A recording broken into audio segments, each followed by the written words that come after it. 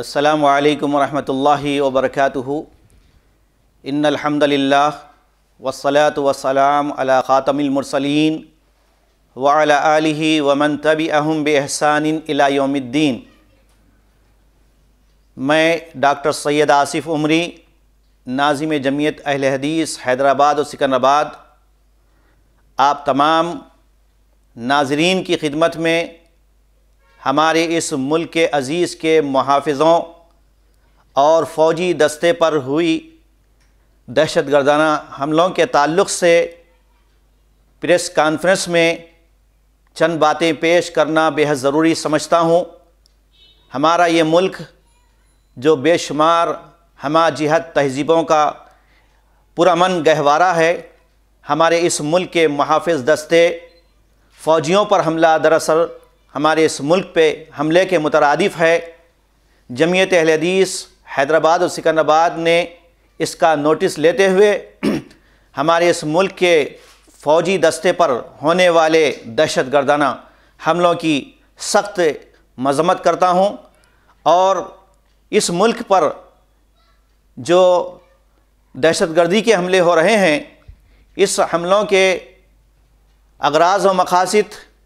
وہ لوگ اچھی طرح جانتے ہیں جو دنیا کے ہر گوشے میں، ہر کونے میں دہشت گردی کو پھیلا رہے ہیں۔ ہم اس ملک کے ایک وطنی ہونے کے ناطے اور ہم اس ملک کے شہری ہونے کے ناطے ہم سب کا یہ فریضہ بنتا ہے کہ ایسے واقعات کی جو ہمارے اس ملک کے پرامن ماحول کو مقدر کر رہے ہیں اور یہاں کی فضا کو تباہ کرنے کی کوشش کی جا رہی ہے، تو ایسے واقعات کی سخت سے سخت مذمت کی جائے اور بڑے ہی دکھ اور افسوس کا مقام ہے کہ ان فوجیوں میں سے لگ بھگ چالیس تا پچاس فوجی ہلاک ہوئے اور پھر اس میں بے شمار لوگ زخمی ہوئے۔ ہم ان تمام کے غم میں برابر کے شریک ہیں۔ اور وسیع پیمانے پر مرکزی جمعیت اہل حدیث ہند اور اسی طرح صوبائی جمعیت اہل حدیث تلنگانہ اور صوبائی جمعیت اہل حدیث ممبئی اور دیگر ریاستوں سے بھی اس کی شدید مذمت ہو رہی ہے۔ لہٰذا ہم حکومت ہند سے بھی مطالبہ کرتے ہیں کہ ایسے حملہ آور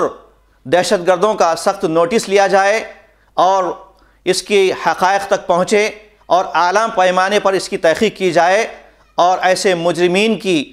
کو سزا دے کر انہیں کیفر کردار تک پہنچا جائے، میں پھر ایک مرتبہ آپ تمام کی خدمت میں گزارش کرتا ہوں کہ ملک کے اس پرامن ماحول کے لیے جتنی ہم سے کوشش ہو سکتی ہے،